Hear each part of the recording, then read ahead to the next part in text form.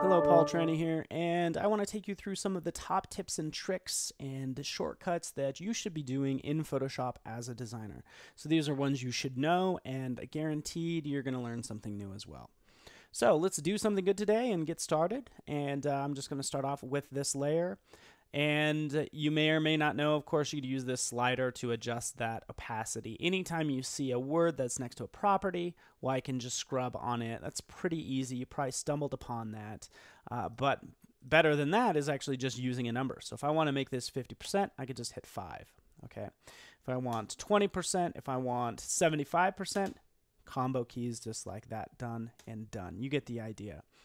Okay, another thing that I see a lot of people doing, again, going over here and then scrolling down to get to, say, subtract, for instance, which I've never used.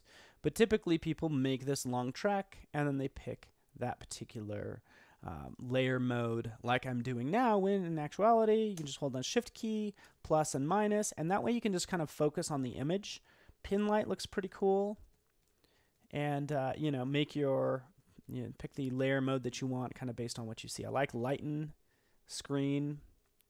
You get the idea. But what's even better than that is you're going to identify some that you really like. Like I like overlay and all those, and I can hold down Shift Option and then O for overlay, or Shift Option M for multiply, S for screen. I really like screen. Let's do H for hard light. That text pops a little more that way.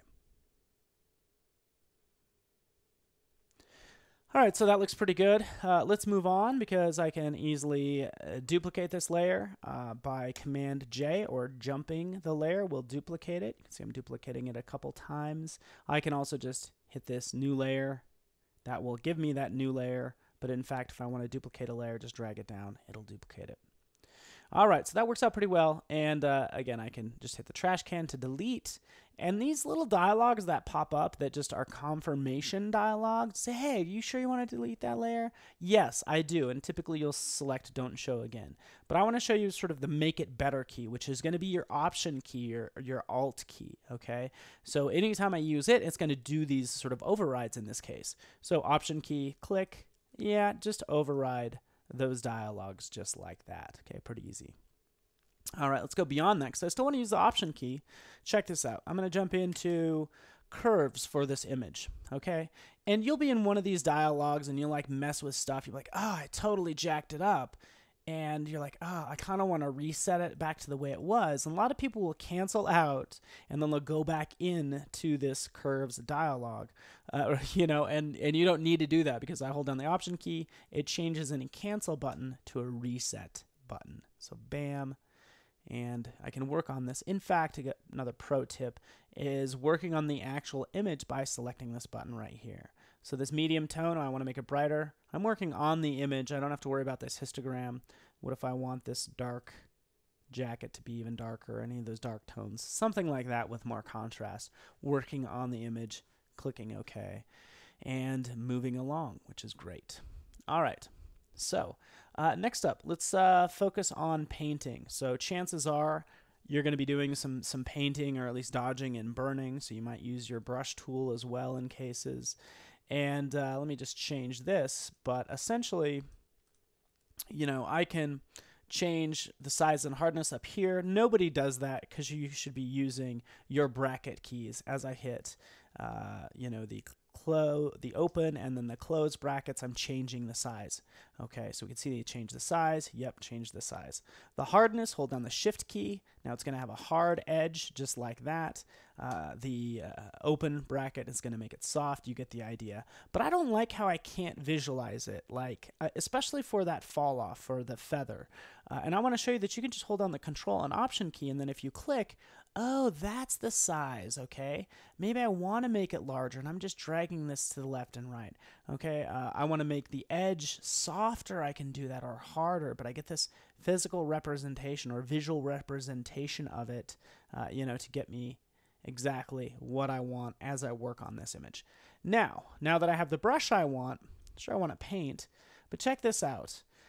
Um, let's uh, say for instance I decide that I want to make this image set it to overlay. So I'll do shift option O and you're like, wait, nothing happened. And that's because anytime you have an options bar with opacity or any layer mode, it's going to override your layers panel. So just a little little warning there. You can see that it changed that to overlay. If I hit 5, it does 50%. But, you know, again, I can just kind of do my, doing a little bit of touch up, whatever I need to do there uh, in that case, okay?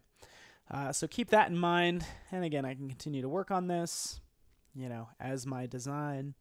Uh, let's go beyond the standard uh, shortcuts. And we all know that we can create our own keyboard shortcuts. So sure, there's plenty in here, uh, plenty we can reference. I'm just going to do two of them really fast because you should actually really be using these.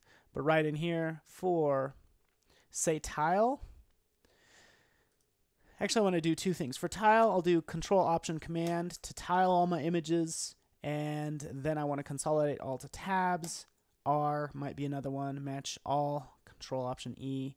But let's go beyond that because in Tools, I don't know if you noticed right down here, you actually have the ability to set the foreground and the background color. So I'm in Tools, I'll scroll down. all of those tools. There it is.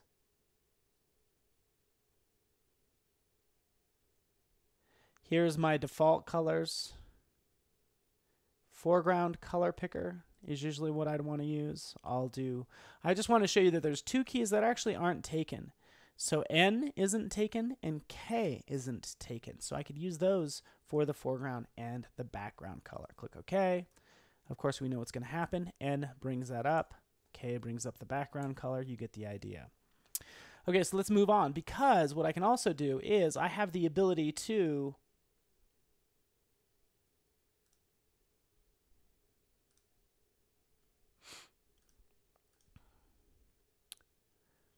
I have the ability to actually edit the toolbar on the side as well. So this is huge. Jumping in here, edit toolbar. Here's my toolbar. And as you get more proficient in Photoshop you don't you don't need the zoom tool because you know it's uh, shift plus minus. Let's just move that over. Uh, what about the hand tool? Well that's the space bar rotate is R. You get the idea. Start moving that content over. I can move others over if I want to or individuals by the way if you really wanted to mess with somebody you can like eliminate some of the major tools and then mess with them and once they ask where they are just say ask them if they've you know, updated their Creative Cloud membership. But nonetheless, I like manipulating and just really customizing this the way I want it to be customized.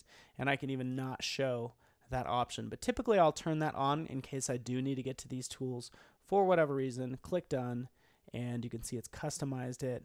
And then I have those additional tools right in there. So pretty handy. And I can continue from there. So those are just some quick tips for navigating and working with Photoshop uh, from a designer's perspective.